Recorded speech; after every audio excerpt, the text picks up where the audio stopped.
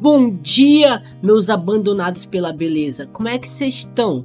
Tudo bom com vocês? Uma obra nova, daquele jeito lá. Um resumo básico para vocês, como sempre. Se quiserem uma próxima parte, já sabem o que fazer, né? Se não souber, não vou nem falar nada. Bom, nessa obra, o nosso protagonista, ele reencarna em um mundo de artes marciais para você que gosta, mas ele, claro que não ia ser fácil. Ele vai pro lixo e se torna um vilão da obra. E se ele não fizer nada, ele vai morrer em meio menos de dois anos. Um beicinho se mordendo e o Pro tá muito nervoso, falando: Que merda é essa? Esse rosto pertence ao quarto jovem mestre do culto demoníaco.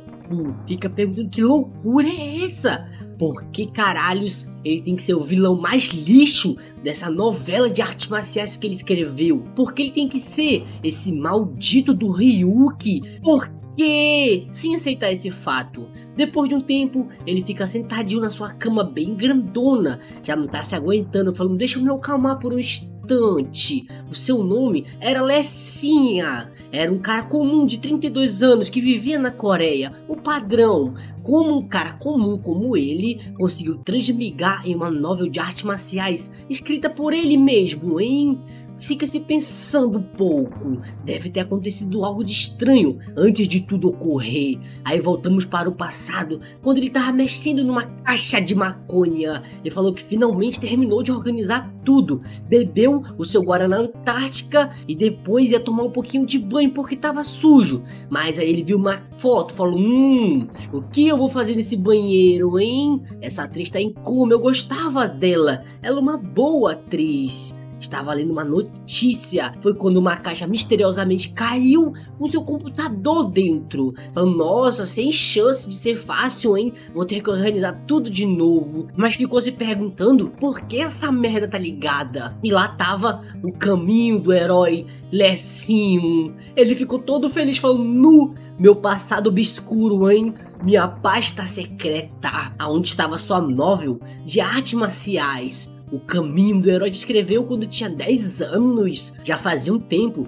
desde que tinha lido essa nova inacabada. Escreveu quando era estudante do colegial. Mas fica se perguntando: que diabos eu escrevi isso? Você precisa retornar ao caminho do herói tudo na verdade é. A frase não termina porque ele começa a ser sugado pelo notebook, falando: Hum, eu acho que agora eu me arrombei, hein? Nesse momento, ele está lá com seu espelhinho falando: Foi isso que aconteceu. E quando acordou, estava desse jeito. Ainda assim, eu deveria ser grato por possuir as memórias do Ryuki normal. Fica suspirando, falando: caramba, eu virei um merda, né? Mas de qualquer forma, nesse local ele é o Ryuki, o quarto filho do líder do culto demoníaco, que perdeu a consciência por um mês inteiro, depois que o cavalo que ele estava montando se assustou com uma abelha e caiu para trás. E agora nessa hora começa aquele padrão dele lembrando de tudo, no momento, ele era um tarado safado que vivia no bordel. Ele ficava chutando os mendigos da rua que queria comida e também ajudava os outros treinando, ficando em cima das pessoas. A vida do Ryuki e o que ele fez até agora está invadindo a sua mente. Parece que a sua cabeça vai explodir. O Ryuki era um filho da puta imprestável. Ele é ainda pior do que imaginava, porque ele teve que encarnar em um lixo tão insignificante. Ele vai morrer em apenas um golpe para o protagonista e servir como degrau para que ele se torne um herói. Ele é só um vilão que vai desaparecer em um instante. Então por que nesse cara, antes que seja morto pelo protagonista, precisa encontrar uma forma de fugir daqui e voltar para o seu mundo? O plano, ele precisa de um plano para isso começa a ficar se perguntando: o que eu faço, parceiro, hein? Por sorte, o Ryuk é o quarto jovem mestre do culto demoníaco. Mesmo que ele seja um cuzão, em termos modernos, ele seria um príncipe ou um herdeiro de uma multinacional. E já que ele deve ter muito dinheiro e mão de obra, deve ser capaz de conseguir alguma informação sobre como voltar começa a tentar se conformar, dizendo que algo assim deve ser impossível, sendo protagonista ou não. Eu não quero morrer aqui, vai sobreviver e voltar para casa, não importa como. O servo do lado de fora, hum, eu acho que o jovem mestre finalmente bateu as botas, ele, o cara tá louco. Prota fala que mesmo assim, esse desgraçado parece muito desagradável, além de tudo, ele é o mais fraco dos mais fracos. Pergunta se deve tentar usar artes marciais para fazer um teste. Já fica lá se concentrando. Respira, respira. Fala, hum, que sensação é essa que eu tô sentindo, hein? Ele se lembra agora, são as artes marciais da família Ryuki, a técnica da espada destruidora caótica celestial. Agora vai tentar isso mais uma vez. Consegue sentir uma fraca energia cercando todo o seu corpo. Acha que isso deve ser o que? Já começa a fazer seu movimento. Concentração extrema. Assim que dá o seu primeiro golpe, ele acaba saindo do chão com tanta força que ele usou, mas as suas costas são como de velho de 90 anos e ele não aguenta e começa a ficar todo quebrado no chão, dizendo: Caramba, tô com cãibra, socorro, eu não aguento mais, chama o Samu. Uma serva já vem entrando perguntando: Jovem mestre, você tava me chamando? Mas já fica assustada, porque ele tá todo torto, parece que tá tendo AVC. E ele lá jogado no chão, babando mais que tudo. A serva toda assustada. Jovem mestre, pelo amor de Deus, o que tá fazendo? Depois de um tempo, ele tá lá jogado, com várias agulhas no seu corpo, pensando: caramba, eu quase morri. Seus músculos quase se rasgaram ao tentar usar uma arte marcial de alto nível, porque seu corpo não foi adequadamente treinado. Fala como se esse filho do Chuck não consegue fazer um simples movimento direito, que bosta! A técnica destruidora, uma técnica exclusiva da família do Ryuki, a mesma que produziu o maior número de líderes da seita demoníaca. Ela não só foi descontinuada, como também incrivelmente difícil de usar. Além do mais, essa técnica requer uma grande quantidade de Ki interno para ser executada. O usuário também precisa uma compreensão profunda de cada movimento para usá-lo de modo adequado. Fala Ryuki, hein? Ele sempre negligenciou seu treinamento e escolheu só as artes marciais que podiam ser facilmente aprendidas. Ele nunca levou treinamento de ki interno ou treinamento de movimentos a sério, então é natural que ele seja tão fraco assim. Por isso, não tem como Ryuki usar esse tipo de arte marcial. Fala, hum, tô ferrado, né? Porque eu tinha que possuir logo esse corpo fraco. Ele já vai indo embora dando uma caminhada. Fala que não tem tempo para ficar vagabundeando por aí. Tem que dar um jeito nisso. Já vai pra biblioteca. Começa a pegar uns livrozinhos para tentar aprender alguma coisa. Começa a tentar ler. Fala, hum, graças a Deus eu consigo ler em chinês. Por agora, quer aprender mais sobre a seita demoníaca. Os membros da seita demoníaca não se chamam assim, eles se chamam de culto divino. O seu nome exato é culto divino do Sol Lunar. Durante a dinastia Huan, o culto divino espalhou seu nome entre as pessoas que estavam sofrendo. Eles se assentaram nas planícies centrais, aumentando suas forças e ajudaram a se libertar da da dinastia Huan. E no fim, eles conseguiram fundar uma dinastia e fundar a dinastia Ming. Contudo, como o rei estava com medo do poder do culto divino solar, ele expulsou o culto durante os primeiros dias do seu reinado. Mais tarde, eles se assentaram em Xinjiang, um lugar muito distante da planície central. Os membros restantes do culto do mal conseguiram ficar vivos até a chegada do 30 líder da geração, que desenvolveu um ódio profundo acerca do povo da planície central, por ter expulsado eles daqui. Ele desenvolveu a força suficiente para retornar lá. E ele queria virar o Sasuke e destruir Konoha. Contudo, o seu sonho de avançar pelas planícies centrais foi negado todas as vezes pela Aliança Murin e pelo exército imperial. Mas o líder 50 do culto divino Lunar, o pai do Ryuki, subjugou a região estrangeira ocidental primeiro, antes de direcionar sua força total às planícies centrais. Então é por isso que o Ryuki vai lutar contra o protagonista no futuro futuro. O Ryuki vai anunciar seu plano de avançar as planícies centrais e escolher um sucessor. E ele já sabe quem vai ser essa pessoa. Após o festival demoníaco celestial, aquele que será escolhido como sucessor enviará um grupo de vanguarda para a planície central central. E o Ryuki, que foi derrotado de maneira horrenda durante a luta pela sucessão, força sua própria presença no grupo da vanguarda para compensar pelo seu erro e vai para as planícies centrais, tira sarro do protagonista que é famoso e morre com um único golpe. Só faltam dois anos até o festival demoníaco. Em outras palavras, ele só tem mais dois anos antes de ser morto pelo protagonista. Tem que dar um jeito de sair dessa. Primeiro, ele vai escrever tudo que se lembra sobre o caminho do herói. Enquanto isso, um velhote já vem pra biblioteca também e pergunta o jovem mestre quer me encontrar na biblioteca. A servinha falando é sim, não sei se é a mesma pessoa. O velhote fala que estranho, hein? Ele com certeza não é uma pessoa que iria naquele local. A serva fala que o mais estranho é que logo depois de acordar, ele gritou durante algum tempo em um idioma incompreensível e desde então ele está escrevendo há horas na biblioteca. O velho fica surpreso falando do jovem mestre escrevendo. Porra é essa? Eu não acredito, só ouvindo eu vou acreditar. Ela pode ir embora agora e não contar a ninguém mais sobre o que o jovem mestre estava fazendo. Ele já vai subindo a escada, todo apressadinho, e só com essa caminhada ele já fica cansado por ser velho. Fala: Hum, será que ele ainda não se recuperou totalmente? O que faz ele agir que nem um cachorro louco de novo? Pergunta se o jovem mestre estava chamando por ele. Prota fala: Você chegou, hein? Senhor ancião, Kawan. O velho fica surpreso, falando: Caralho, ele me chamou de ancião? Será que ele tá louco? Até mesmo a forma que ele fala se tornou mais gentil agora. Antigamente, ele seria chamado de velho imprestável e chispado à sua frente. O Prata pega um banco de madeira e manda ele dar uma sentada em cima, se perguntando quão porra louca o Ryuki era pro ancião ficar comovido com uma coisa dessa. O ancião Kawan fica perguntando se tá tudo bem, se tem algum problema. O Prota fala que ele está encarregado de cuidar do Ryuki Ryun, não é mesmo? Ou também está responsável pelo dinheiro dele. O ancião Kawan fala que está responsável pelas duas coisas. O Prota fala que se ele vender tudo que possui, quanto dinheiro recebe? O ancião fala que ele se meteu em algum problema, não é? Ele pode cuidar disso para ele. Fica suspirando, falando lá. Já tá fazendo merda de novo.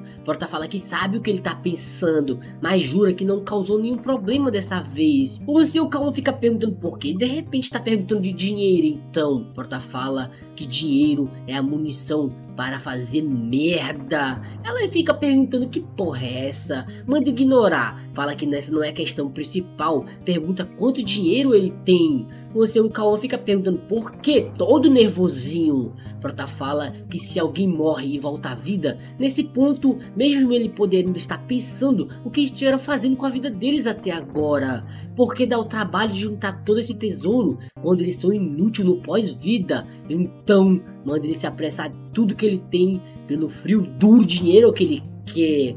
O Kawan, fala: tá bom, você quer dinheiro, não é mesmo? O Prota fica falando que vai deixar tudo na mão dele. Há muito trabalho a ser feito. Então, por favor, comece agora mesmo. E manda lembrar de atualizar os registros das finanças e tesouros e anotar o lucro na venda de cada item. O ancião vai indo embora pensando: hum, embora o jovem mestre tenha morrido e voltado à vida, ele é como uma pessoa totalmente diferente. Se pergunta se ele tá mesmo bem da cabeça. Alguns dias depois, com muito sol, várias lingotes de ouro. O Pro tá falando: caramba, consegui toda essa grana só de vender minhas coisas, hein? Mesmo assim, ainda não tem certeza se é suficiente para implementar o seu plano anti-morte prematura, mas tem dois anos para se preparar para o festival demoníaco. Depois de tudo isso, precisa criar um plano para sobreviver em dois anos. Se ele fosse converter a riqueza do Ryuki para os dias atuais, ele teria mais ou menos uns 2 bilhões de wons. Não é ruim, mas ao mesmo tempo não é o bastante. Vamos ver. O festival demoníaco é daqui a dois anos e o protagonista só sairá da caverna de treinamento dele quando terminar o festival. Isso significa que por enquanto ele está salvo, mas no entanto ele lembra do protagonista sendo jogado da montanha e ele achando aquele local secreto com aquela espada e virando aquele Deus melhor do mundo. Fala que depois de receber o hack de protagonista e se tornar o mais forte do mundo, uma história de Mourinho de terceira categoria vai começar. Mas fala que seja, agora tem algum dinheiro, está na hora de ir para o próximo passo a biblioteca do demônio celestial, onde todas as artes marciais daquele culto divino estão acumuladas por anos. Aqui ele vai aprender artes marciais que salvarão a sua vida. Assim que entrando, os guardinhas falam: Pode entrar, parceiro. Diz que há menos livros do que ele imaginava. Se é assim, não deve demorar para ele encontrar o que ele precisa. Já fica pegando vários livros, dizendo que finalmente encontrou a técnica da meditação salva-vidas de acordo com o caminho do herói, essa técnica aumenta os seus sentidos e é exatamente o que ele precisa agora. Aqueles que aprendem a técnica de meditação salva-vida ganha um sexto sentido e vai ser capaz de desviar de ataques e obter uma grande vantagem para achar abertura. E além disso, quando essa arte marcial atingir um nível de maturidade, não será capaz de sentir só a força do seu oponente e também o seu espírito espírito, mas também vai ganhar a habilidade de detectar armadilhas perigosas e emboscada. Isso sim é uma habilidade roubada. Fala que pelo que se lembra da novel, o protagonista acaba aprendendo essa técnica e fica ainda mais apelão. Dessa vez vai ser ele que vai aprender primeiro. Isso deve aumentar as suas chances de sobrevivência. Mesmo assim, já que o protagonista também aprende essa técnica, o Ryuki morrer com certeza não vai dar certo. Fala que esses dois livros que tá na sua mão tem a técnica da rachadura e a arte da nova lua. A técnica da armadura aumenta a defesa e em ponto de você bloquear uma espada totalmente desarmada, um hack de armadura. Sem mencionar a arte da nova lua, que aumenta a força em nove vezes. Que é isso, Dragon Ball também? Diz que agora tem toda a fundação de artes marciais que ele precisa. Ele vai lutar pela sua sobrevivência e vai começar a estudar. Todo mundo na farra tomando aquela cachaça de boa. Um barbudinho falando Dan. Você ouviu alguns rumores estranhos ultimamente. O Dan pergunta se ele tá falando sobre algo mais absurdo que o maluco no pedaço do Ryuk revivendo depois de morto. O barbudinho fala que ele ainda é doido varrido, mas algo diferente sobre a loucura dele dessa vez. O Dan fica perguntando: é como assim diferente? O que ele fez? O Barbudinho fala que quando ouviu que ele tinha acordado foi visitá-lo na vila, mas então algo inesperado aconteceu. Um criado disse que o jovem mestre está ocupado e vai chamar ele quando estiver livre. O Dan fala que ele está ocupado com algo de encher a cara, certeza que é alguma coisa assim. O Barbudinho fala que exatamente esse é o ponto.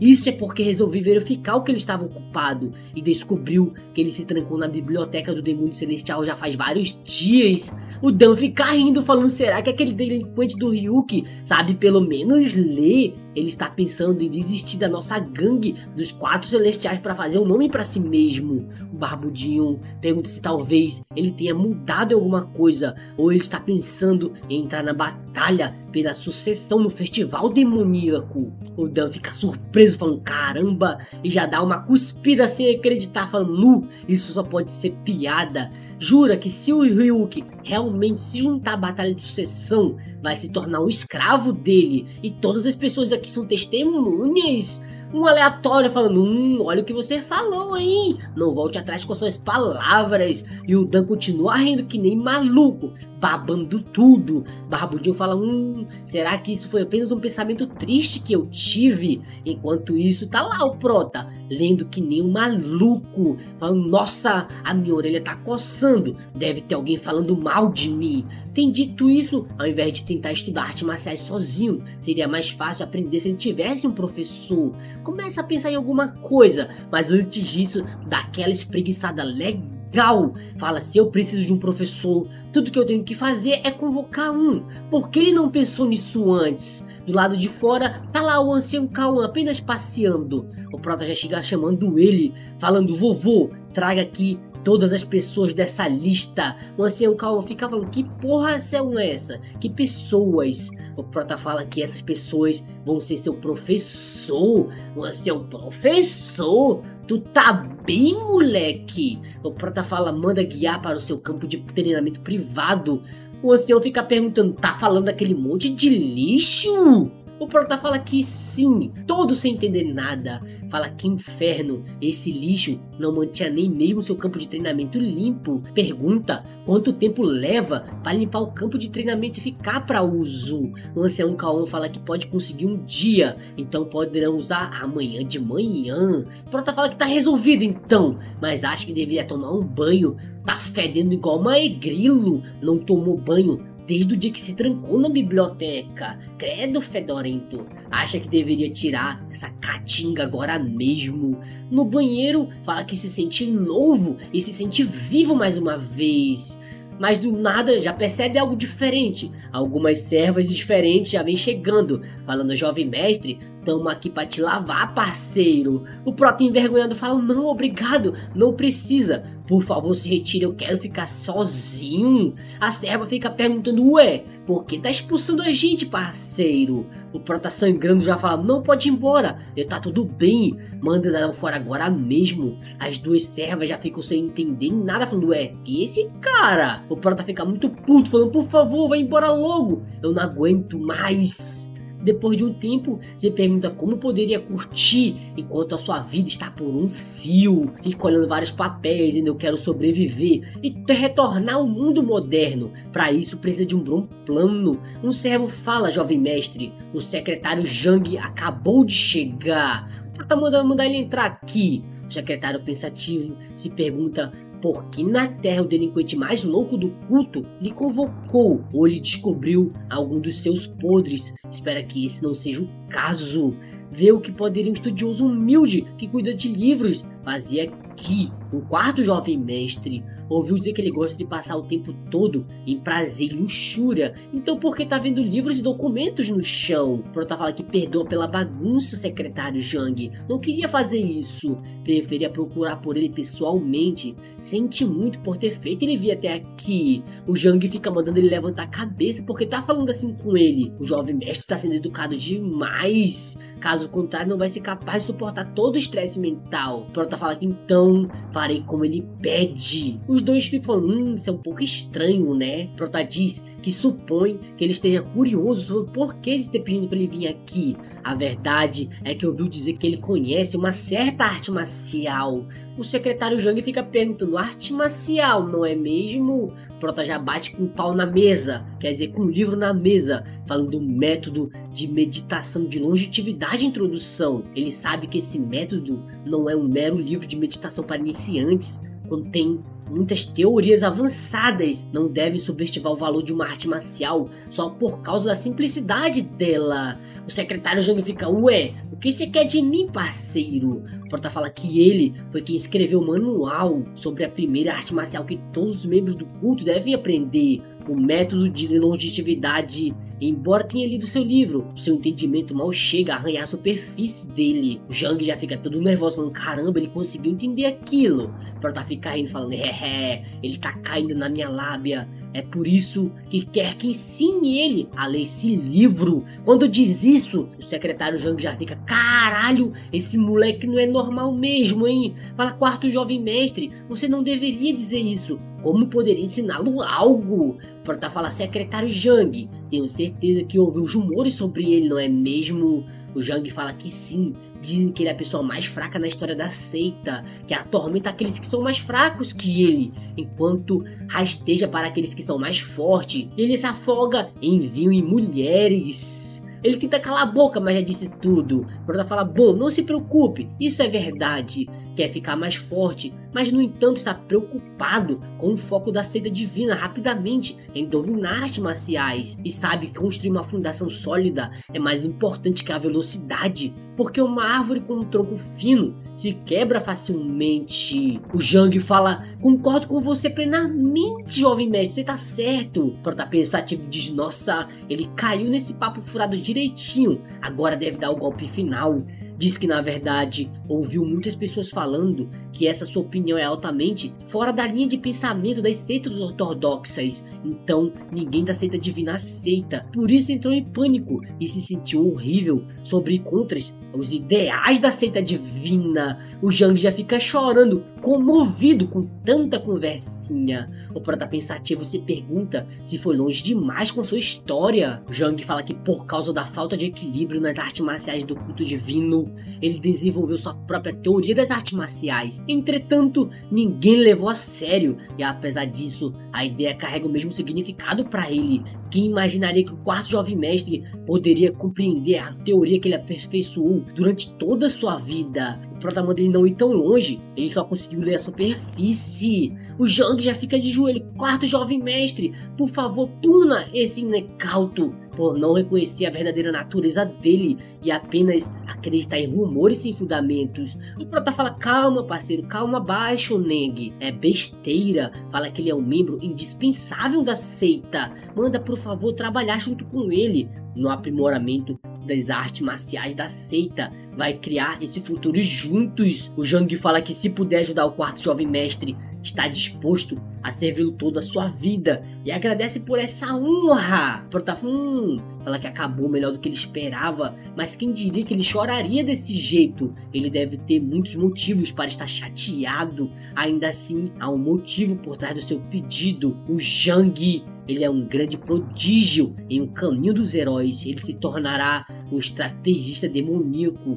Com ele, as suas chances de sobrevivência vão aumentar muito de novo. No seu caderninho, a sua primeira missão de recrutar o Jang foi concluída com sucesso. Fala que esse é um bom começo. Teve sucesso em recrutar o estrategista demoníaco. Depois que o segundo jovem mestre escolhe ele como seu aliado, ele foi de grande ajuda, fazendo o protagonista cair em uma armadilha, garantindo a ele o apelido de estrategista demoníaco. E depois que o rival principal do protagonista, o segundo jovem mestre, se tornar o sucessor da seita demoníaca, ele também passa a ser uma pessoa significativa e que executa um papel importante na guerra contra a Aliança Murin. Fala que se fosse fazer uma comparação, seria como se a Kurenai tivesse pegado Itachi em um genjutsu. Ele mesmo escreveu isso, mas é um ótimo cenário. Então, qual deve ser o seu próximo passo? Acho que deve dormir um pouco, tá acabado de tanto ser ator. No outro dia, o Jang fica perguntando o que é tudo isso, meu lord. Prota fala que de agora em diante ele vai ser um professor de artes marciais e esses são os materiais que vão ajudar no treinamento com tudo. O Jang fica falando, meu lord, isso é um plano de treino comum e muito sistemático, mas eles estão escritos em detalhes sobre condicionamento físico e básico e o que comer e como descansar, tempo de sono e métodos. Nunca viu esse tipo de treino antes. O Prota fala que encontrou um treinamento básico sem um sistema na seita, então tentou resolver o problema de várias maneiras, mas no fim Todos nós começamos pela comida. Seu corpo é feito de acordo com o que você come e do quanto se movimenta e descansa.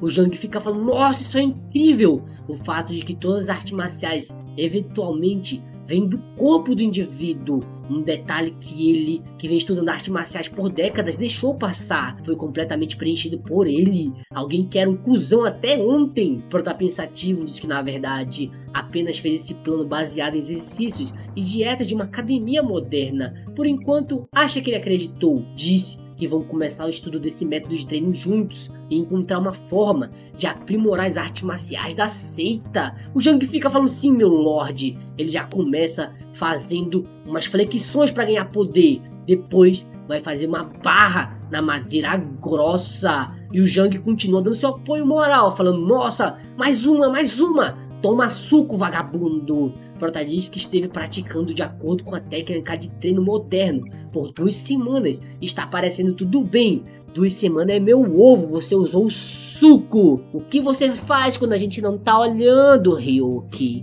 Diz como esperado talvez pelo fato de que é filho do líder do culto, nasceu com um corpo natural. Já pode ver os resultados. O Jang fica falando agora, meu lord, só resta mais uma volta. E ele lá fazendo seu cardio no mesmo lugar correndo. E o Jang continua fazendo as anotações, ver quanto tempo ele demorou. Prota, hum, o Jang está mudando seu método de treino para ser compatível com seu treinamento de artes marciais, como esperado. O Ryuki pode com certeza se tornar mais forte. No outro dia, o Barbudinho já tá lá, olhando tudo. Fala que merda o Ryuk está fazendo, hein? Se ele já terminou seu trabalho, deveria ter ido encher a cara em algum bordel por ali. Pergunta do ancião Kawan se o quarto jovem mestre está aí dentro. Ele fala que sim, mas está treinando. O Barbudinho fala treinando? Aquele filho da puta! O ancião Kawan fala que sim, já se passaram duas semanas desde que o jovem mestre começou o seu treino. Barbudinho nervoso fala: Caramba, nunca vi aquele maldito treinando, nem mesmo quando ele foi ao pavilhão demoníaco celestial. Será que ele realmente ficou louco? Fala: Não, isso não pode ser verdade, eu não acredito. Está tentando manter uma gatinha escondida só pra ele, só pode ser isso. O ancião Kawan fala que o jovem mestre está realmente treinando. Se não acredita, pode por favor vir até a sala de treino. Barbudinho fala: Caramba, hein? Eu só acredito vendo, eu vou lá. Enquanto isso, o Jang continua treinando com o jovem mestre, dizendo: Meu Lorde, suas artes marciais melhoraram da água pro vinho, hein? Prota fica falando: É, sério? Nem parece. O Barbudinho já chega lá atrás perguntando: Que porra é essa, Ryuki? O que tu tá fazendo? O Prota fala: Sangue, hein? O que está fazendo aqui, meu parceiro? Diz que o Sangue é um membro da gangue dos Quatro Paraísos. Manteve ele longe, já que são completamente inúteis para o seu plano de sobrevivência, mas pensar que um deles viria até aqui por conta própria, hein? O Sangue pergunta o que ele tá fazendo, ele não entrou em contato esse tempo todo. O Prota fala que é lógico, ele não tá vendo, tô treinando, parceiro. O Sangue sem acreditar fala, como assim? O que quer dizer? Sua cabeça ainda não se recuperou totalmente depois de morrer e voltar pra vida? O Prota pensativo fala o quão desgraçado era o Ryuki para que ele esteja preocupado desse jeito. Ele realmente o Ryuki que conhece. A expressão está completamente diferente. Pergunta se ele não foi trocado por outra pessoa. Trota pensativo diz: Hum, esse cara é esperto, hein? Fala que se ele continuar falando besteira, então vaza que eu tô com pressa. O sangue pergunta por que ele tá com pressa, o que ele faz, além de beber. Prota fala que depois que morreu e voltou à vida, se tornou uma pessoa arrependida do seu antigo comportamento. Então está tentando viver uma vida ao máximo agora. Fala, secretário Jang, vamos fazer isso mais uma vez. Mas o secretário já tá com as suas costas doendo. Fala que parece que exageraram um pouquinho no treino, hein? Mas vê que esse cara parece ser um pouco bom. Devia usar ele como parceiro também, né? Já vai indo pra cima, preparando uma bicuda voadora. O sangue, que porra é essa que tá acontecendo aqui, parceiro? E acabou.